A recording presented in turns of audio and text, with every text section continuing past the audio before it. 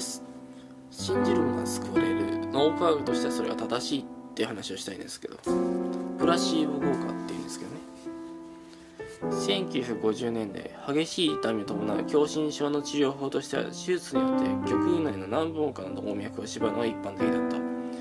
それによってその直後の心筋の中に新しい血管が生まれ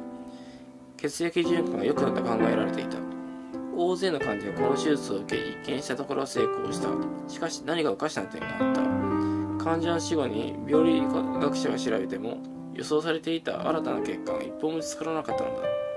どうやらこの手術は症状の緩和には成功したものの原因の解消に役立たなかったらしい。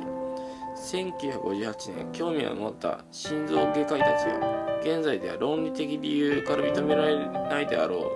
ある実験を行った。せかけの手術を行ったのだ。5人の患者に対し皮膚を切開して例の動脈を露出させたもののそれを縛ることなく再び皮膚を保護した。また他の13人の患者には実際に手術を行った。患者にも心臓専門医にも誰が本当の手術を受けたのか知らせてなかった。本当の手術を受けた患者は76%が狭心症の痛みの改善を示した。ところが見せかけの手術を受けたグループでは5人全員が改善したのだ。どちらのグループも適切な外科手術を行われたと信じており手術前よりも痛みがはるかに和らいだと報告した。どちらのグループでも手術によって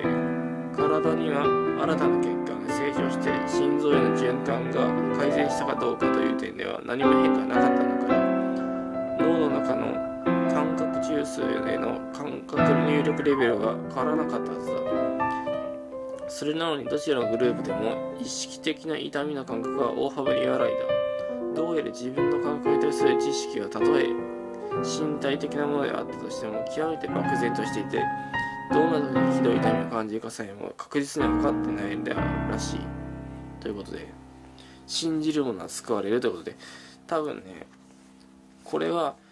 医者だがやってくれたからこそそういうふうに思ったのであって信頼できる先生がやってくれたのであだからこそ信じれたのであってこれは宗教でやったら教祖様が言っても大して信じているのでは変わらないのではないかなと思うので